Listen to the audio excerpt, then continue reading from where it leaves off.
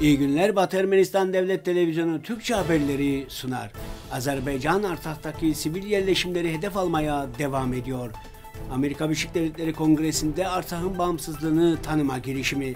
Nikol Paşinyan, Avrupa İnsan Hakları Mahkemesi Azerbaycan'ın ırkçı bir rejim tarafından yönetildiğini doğruladı.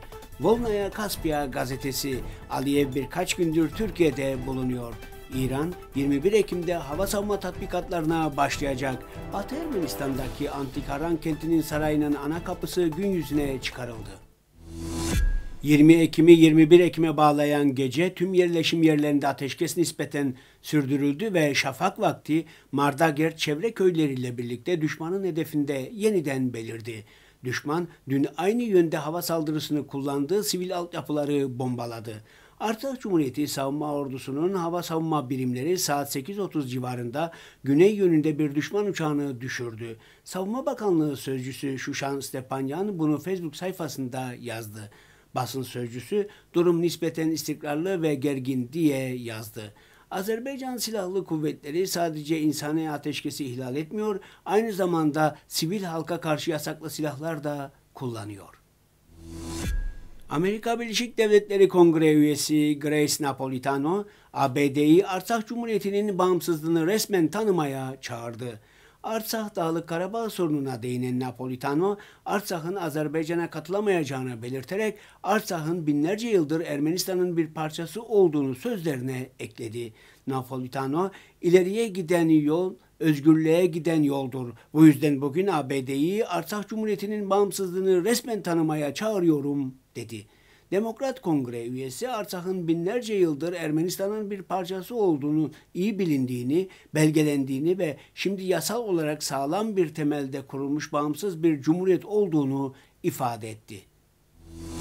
Ermenistan Cumhuriyeti Başbakanı Nikol Paşinyan Twitter'da Avrupa İnsan Hakları Mahkemesi Azerbaycan'ın Ermenilere yönelik etnik şiddeti yücelten ve toplumda etnik nefreti besleyen ırkçı bir rejim tarafından yönetildiğini doğruladı diye yazdı.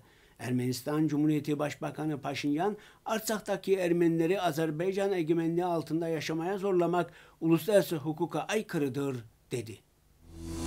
Volna Kaspia gazetesi kendi kaynaklarına atıfta bulunarak Azerbaycan Cumhurbaşkanı İlham Aliyev'in birkaç gündür ülkesinin dışında olduğunu, Türkiye'nin Antalya bölgesindeki saraylarından birinde olmayı tercih ettiğini, sadece briefing ve ulusa seslenmek için Bakü'de göründüğünü yazıyor.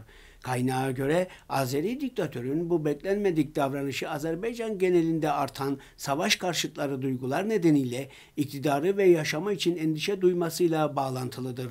Bu üzüntünün nedeni Azerbaycan ordusunun Karabağ'daki başarısızlıklarıdır. Bölgenin hızlı kurtuluş vaatlerine rağmen şu anda Azerbaycan Silahlı Kuvvetleri'nin bir kısmı Zangelan bölgesinde ablukada ve diğer kısmı hızla doğu tarafına çekilmektedir.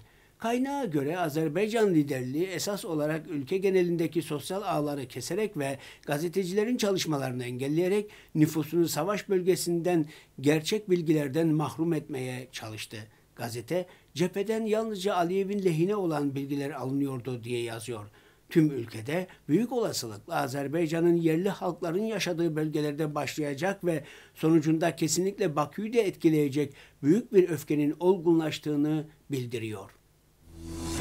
İran İslam Cumhuriyeti'nin hava savunma birimleri bugünden itibaren ülkenin büyük kısmında askeri tatbikatlar yürütüyor. İran'ın Tasnim News haber ajansına atıfta bulunan Armen Press'in haberine göre tatbikatın komutanı General Kader Rahimzade hava savunma tatbikatlarının Velayet 99 Gökyüzü Muhafızları adlı kod altında başlatılacağını söyledi. Tatbikatlar ordunun savaş etkinliğini artırmayı ve güçlendirmeyi amaçlamaktadır.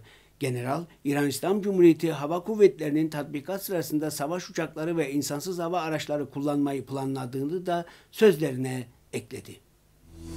UNESCO Dünya Mirası geçici listesinde bulunan dünyanın en eski yerleşim yerlerinden Batı Ermenistan'daki Urfa'nın Harran ilçesindeki 9 asırlık saraydaki kazılarda tarihi yapının ana kapısı ortaya çıkarıldı. Harran Öğren Yeri Kazı Başkanı Profesör Doktor Mehmet Önal, Harran Sarayı'nda daha önceki dönemlerde yapılan kazılarda üç kubbeli hamam bulunduğunu anımsattı ve Harran Sarayı'nın Orta Çağ'dan bu yana ayakta kalmış nadir saray örneklerinden birisi olduğuna dikkat çekerek sarayın yüzlerce odasının bulunduğunu bildirdi. Önal, saraydaki kazılarda bulunan damga mühürleri, yüzükler ve ok uçlarının üzerindeki yazı ve simgelerin de arkeologlar tarafından çözümlenmeye çalışıldığını dile getirdi. Bugün için bu kadarını öngördük.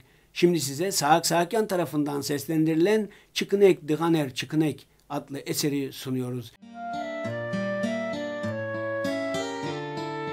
Հեքիաթում որոշեն չարը եւ բարին, հեքիաթի վերջում միշտ հաղթում է բարին, հեքիաթը հավատ է պատմողի համար, չքնեք տղաներ, չքնեք, չքնեք տղաներ, չքնեք, կյանքը ձեր նոր ընթացք ունենա, Չքնեք çakanak Of kali hazifte artnana Eserin tamamını Batı Ermenistan Devlet Televizyonu'nun resmi sitesinden izleyebilirsiniz.